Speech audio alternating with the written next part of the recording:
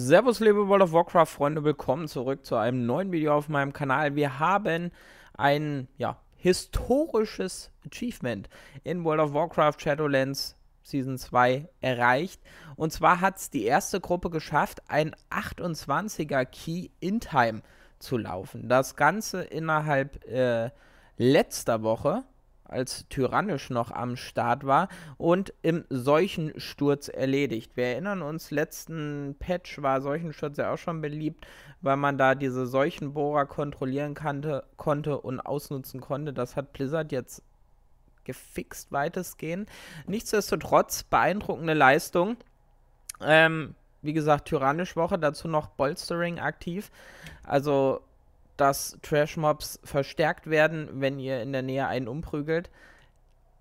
War eine Woche, die nicht die allereinfachste war, wenn man sie zumindest nicht gut gespielt hat. Und dementsprechend Congratulations dazu. Also die Gruppe bestand aus einem Prot-Pala, einem Heal-Schaman, Windläufer-Mönch, Schurke und einem Frostmagier. Spieler heißen Lone Crusader, Tana, Child in Time, Vihu, Wild EQ'd und wundert mich vor allem, dass der Paladin dabei ist. Da aktuell ja eigentlich eher andere Tank, wobei aktuell ist kein Tank so richtig schlecht, aber es dominieren eigentlich eher andere Klassen und wir können uns hier nochmal ein bisschen angucken, beziehungsweise wenn ihr auf die Seite geht, seht ihr hier die Trades, die sie benutzt haben, welche Conduits, welches Legendary, welche Trinkets, welcher Pakt und so weiter und so fort. Ähm, Item-Level ziemlich krass unterwegs. Der Magier mit 2,55, Schurke 2,52, Monk 2,52, der Shami 252 und der Pala 253 heißt, die sind bis unter das Dach gegiert aus Mythic Plus und höchstwahrscheinlich auch Raid-Items von Kel'Thuzad-Sylvanas. Ansonsten kommst du auch, glaube ich, nicht auf die 255. Ähm, ja, ziemlich nice. Letzten Endes haben sie das Ding mit etwas mehr als einer Minute übrig geklärt.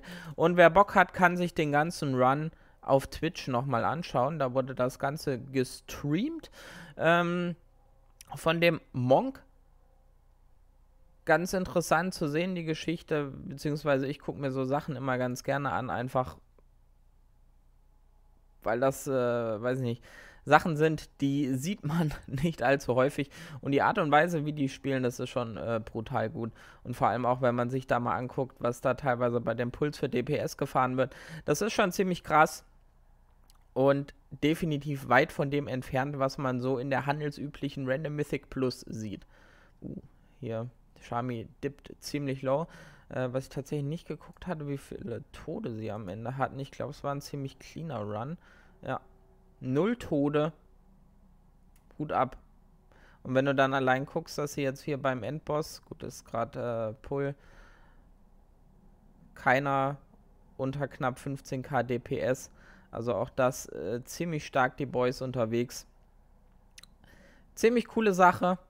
Gefällt mir ziemlich gut. Auch wenn ich selber das wahrscheinlich nie erleben werde, dass ich mal ein Plus 28er In-Time spiele. Aber nichtsdestotrotz finde ich es ziemlich cool, dass es da noch Leute gibt, die da die Zeit reinstecken. Und ich muss sagen, da kriegt man schon fast wieder einen Bock ein bisschen auf MDI. Schreibt mir eure Meinung dazu sehr gerne in die Kommentare. Damit danke fürs Zusehen. Bis zum nächsten Video und reingehauen.